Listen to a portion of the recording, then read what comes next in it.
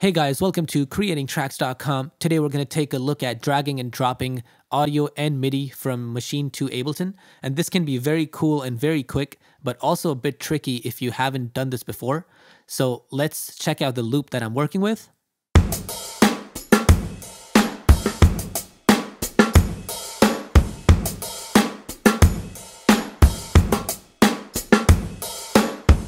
Okay, cool. So what you can do is over here in your group on the right side, you have these two buttons that look like a MIDI button and then an audio waveform.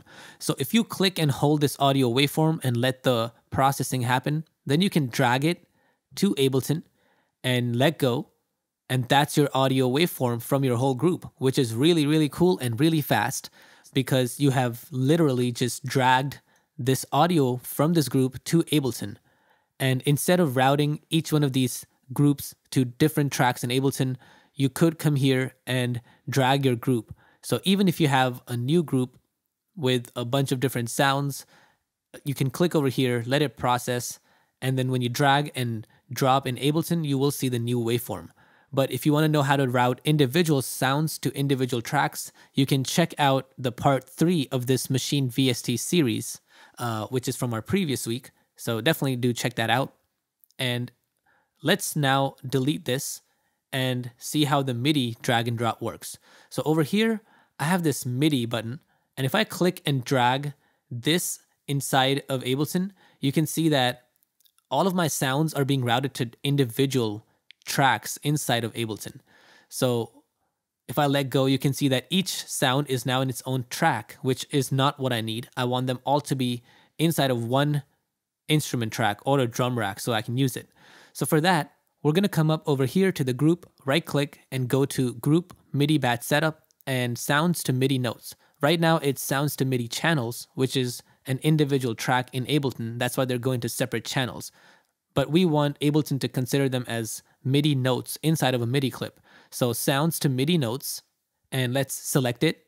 And now if I drag this to Ableton, you can see that they're all inside of one clip, which is exactly what I need.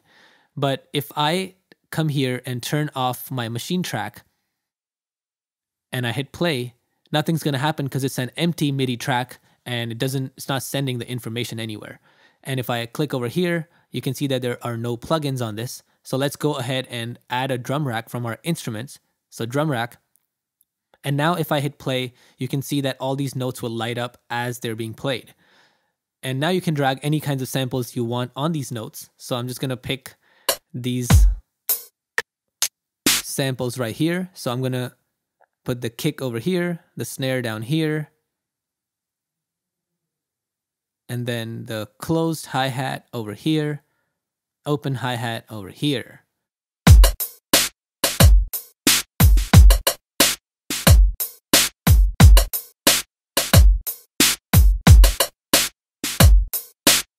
So that is a really cool way to bring MIDI information from Maschine to Ableton and then use your own samples inside of Ableton.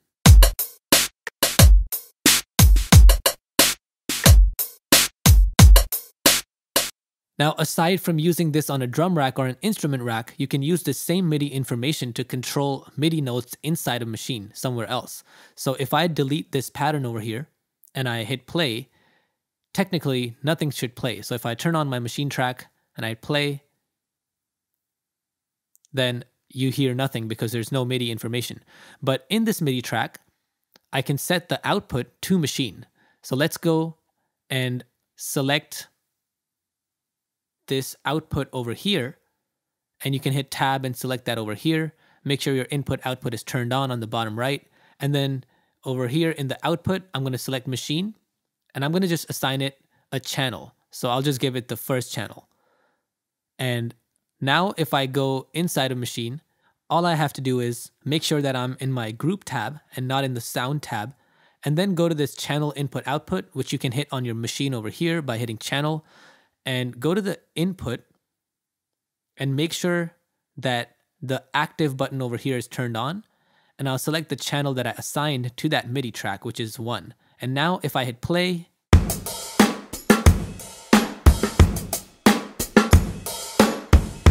So you can see that even though we don't have any MIDI notes inside a Maschine, this MIDI clip right here in Ableton is controlling what's inside a Maschine.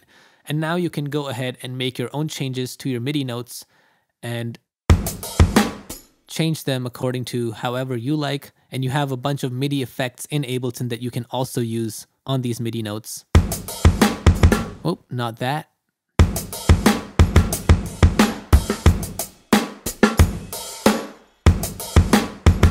So there you have it. If you enjoyed this tutorial, please make sure to give it a thumbs up, share it, and subscribe to our channel for a lot more. And we will see you next time. Peace.